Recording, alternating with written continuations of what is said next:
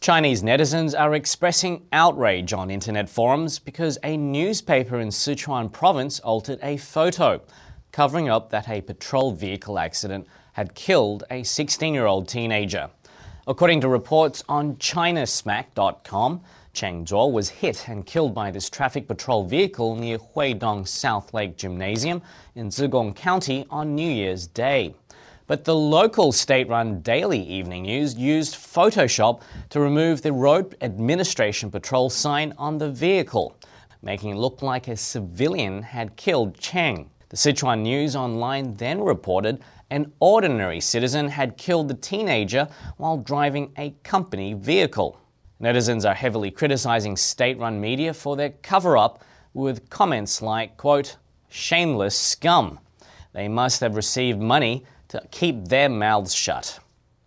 A post on China Smack also says some witnesses at the scene claimed the driver was drunk.